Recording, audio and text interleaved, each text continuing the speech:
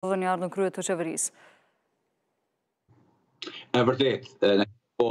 faktikisht Boris Johnson u urdhërua sot që të kthehet nga ishujt Karaibe, të kthehet se ishte me pushime me familje atje, ishte holiday e pushimi i katërt i tij atje. Kështu që ishte urdhëruar të kthehej në Londër, sot është sot është në Londër dhe ka diskutime me anëtarët edhe simpatizantët e tij brenda parlamentit britanik. Mos harrojmë se i vetmi person Në Britani të Madhe, duke përfshirë edhe liderin e opozitës Sir Keir Starmer, i vetmi person, i vetmi politikan që ka mandat dhe ka popullaritet më së shumti sot për sot në gjithë Britaninë është Boris Johnson. Edhe ky si duket po thirret tashti po po thirret në atë far në atë popullaritetin që e ka dhe partia e tij e ka afruar sot edhe si duket ky është duke menduar edhe më merr mendja që deri të dielën nuk do të kemi ndonjë lajm të ri,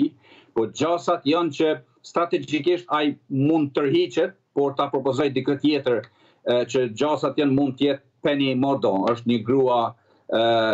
ish ish biznes biznesmene, domethënë e suksesshme një politikane e, e, e mirë po ashtu. Ka gjasa që edhe ajo që domethënë Boris Johnson ta mbështesë kandidaturën e saj, por gjithçka për ta parashikosh politikën britanike me të vërtetë duhet të jesh Nostradamus dhe shumë i mirë në në në në në parashikime, por po Boris Johnson është kandidati kryesor, Rishi Sunak ish ministri i financave është po ashtu, por të mos harrojmë, mos harrojmë për gjeopolitikën, për Ballkanin, për Ukrainën, Boris Johnson do të ishte zgjedhja më e mirë. Mendoj unë edhe për për Britaninë e Madhe, për situatën ku jemi tani. sepse mos harrojmë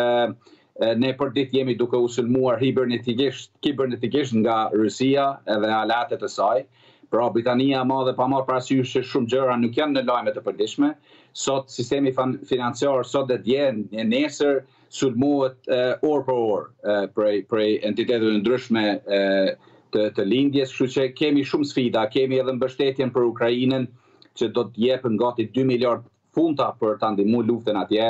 Ë kemi natyrisht negociatat edhe procesin negociator me BE-në. Janë shumë sfida përpara dhe si duket Partia Konservatore është duke ecur në drejtimin që ardhja e Boris Johnson do t'ju sigurojë edhe atyre një një stabilitet brenda partisë, por edhe gjasat janë që Gjasat, gjasat janë që nëse Boris Johnson do të qëndrojë për dy vite i suksesshëm në në pushtet, munden edhe që t'i mundin edhe laburistat në zgjedhjet e vitit dy mijë e njëzet e katër.